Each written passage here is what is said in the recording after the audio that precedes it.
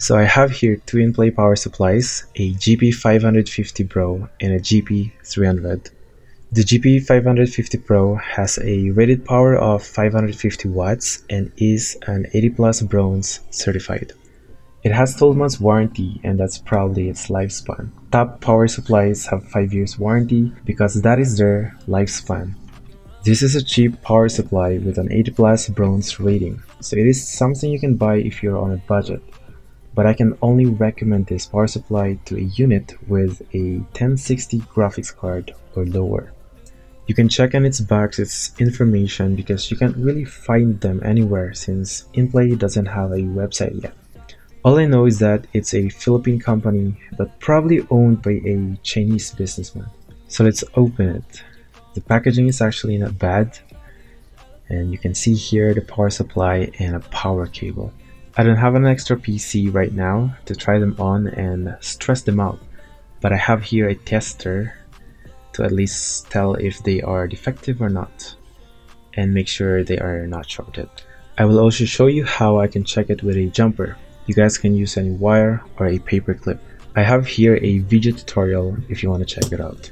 This power supply doesn't have a switch but is plugged in my AVR so I can just switch it on there since it has a switch. So plug it using the power cable, then look for the 24 pin power connector. Now put the 24 pin jumper on. Face the power supply fan where you can see it, then switch it on. Voila! It's working. As you can see, the fan is spinning. It is a bit dark. Uh, let me turn on my flashlight on so you can see it better. The fan isn't too loud as well, so that's a good thing. Now let's turn it off, then test it with a power supply tester. Just look for the 24 pin power connector and plug it in the tester. This power supply tester powers from the power supply, so if you don't get any display in the tester, then there's a problem with your power supply. Of course, it could be the power supply tester with a problem as well, so make sure that you have a working power supply tester first. Now that the 24 power pin connector is plugged, you should see a negative 12 volts and a plus 5 volts. Now this PG is the amount of time it takes for the power supply to get a good voltage. And as you can see, it is at 300 milliseconds. That's less than 500 and higher than 100 that means it's good.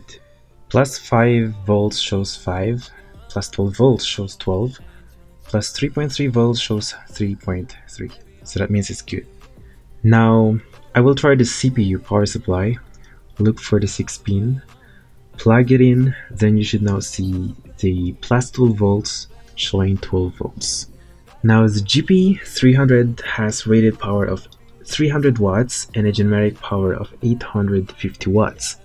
It also has an 80% efficiency mark, which is kind of confusing. I'm not sure if they just put the mark there just for advertisement, but it's not really 80% efficient. You guys can just tell me in the comments down below if you know. Well, what I understand is that 300 watts is its rated power and 850 watts is its peak power and it's 80% efficient getting that power range. Anyways, I wouldn't really recommend using this if you have a decent CPU and a graphics card, considering how little we know about this power supply and how little we know about InPlay as a company as well. And you know what? I will treat this as a generic power supply even if it has that 80 plus certification mark in its box. But it's definitely good enough for budget builds. So I will now test it with my tester uh, just plug the 24 pin power connector and yeah let's see if we get the right voltages so 12 volts shows 12 5 shows 5 and the PG is 260 milliseconds which is also under 500 and above 100 milliseconds the rest shows the right voltages as well now I will plug the CPU power supply as well to see if it shows plus 12 volts and there you go, it's the right voltage as well.